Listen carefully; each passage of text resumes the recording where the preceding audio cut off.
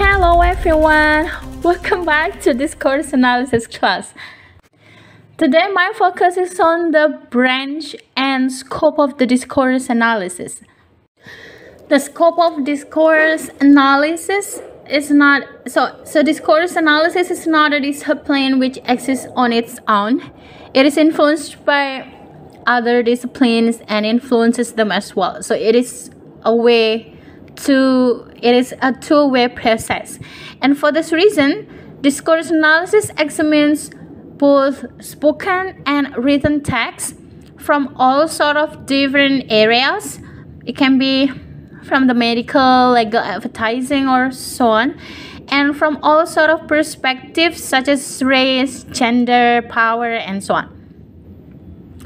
Um, so let me talk about the branches of the discourse analysis. We have first is multimodal discourse analysis.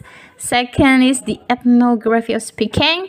And then third, we have gender analysis. And the fourth, and so on. Actually, there are a lot. so you can read uh, the books or the PDF version as well. First, I'm going to explain about the multimodal discourse analysis. It refers to the communication as a matter of combining multiple modes.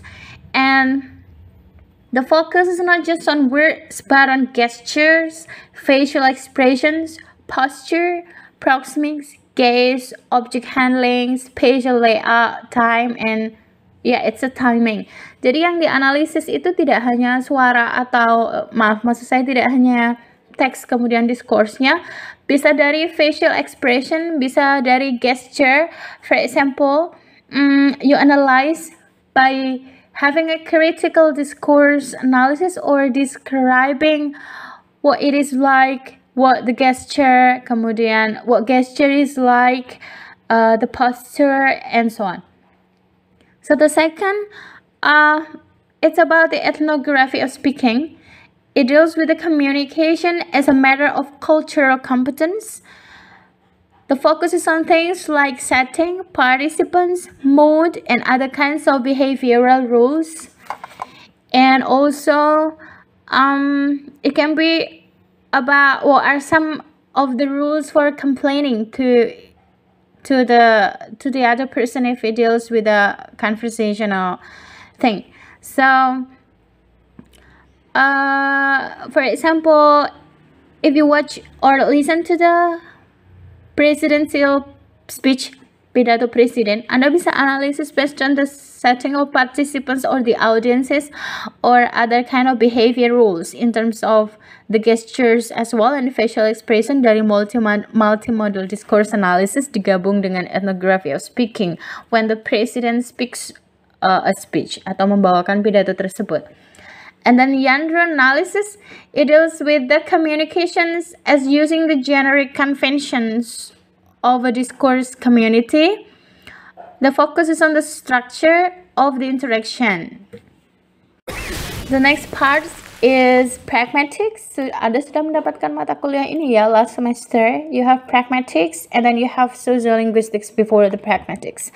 So pragmatics, if you remember the theory of pragmatics, it deals with the communication as doing things with words from sentence meaning versus speaker meaning. Jadi yang dimaksudkan di dalam kalimat itu dengan yang dimaksudkan oleh orangnya. That's the pragmatics.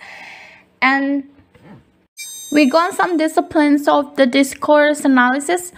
So many scholars believe that a good linguistic description should go beyond the sentence and pointed to the fact that there are certain meanings and aspects of the language that cannot be understood or embraced if its study is limited to the syntactic analysis or the sentence.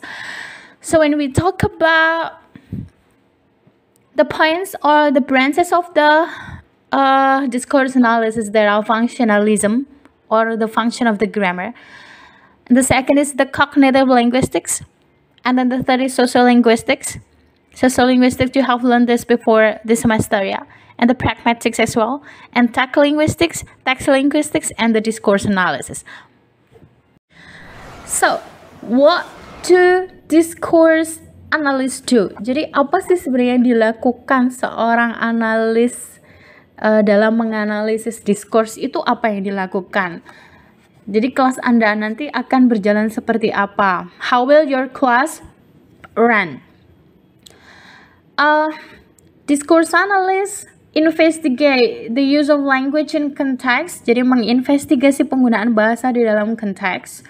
Thus, they are interested in what speakers or writers do and not so much in the formal relationships among sentences or prepositions. And if we look at what discourse analysts do, we will find they explore matters such as turn taking in the telephone conversation. Jadi mengamati atau menginvestigasi orang yang sedang bercakap-cakap dalam telepon. It can be about the language, power relations, dialogue in chat rooms, bisa juga percakapan di WhatsApp, for example, in terms of the text or the discourse of the archive. It can be also about the records, record yang sudah direkam ya, berarti berupa spoken activities. Uh, the conversation at dinner table atau orang yang sedang makan malam itu diskursnya bagaimana or the scripts or given television program uh, misalkan pembawa membacakan sebuah berita, ada orang membacakan news presenter, presents the news, kemudian ada skripnya di bawahnya itu bisa dianalisis. Or usually the film with the subtitles, you can analyze the discourse of the subtitles. Atau the discourse of the politicians itu bisa juga uh, dari seseorang yang berkecimpung dalam dunia politics. Another one is the study of racism through the use of the discourse. Kemudian how power relations and sexism are manifested in the conversation. Bisa kalau misalkan analisisnya berdasarkan gender, berarti it's between men and women, ya. Yeah? The characteristic of the discourse.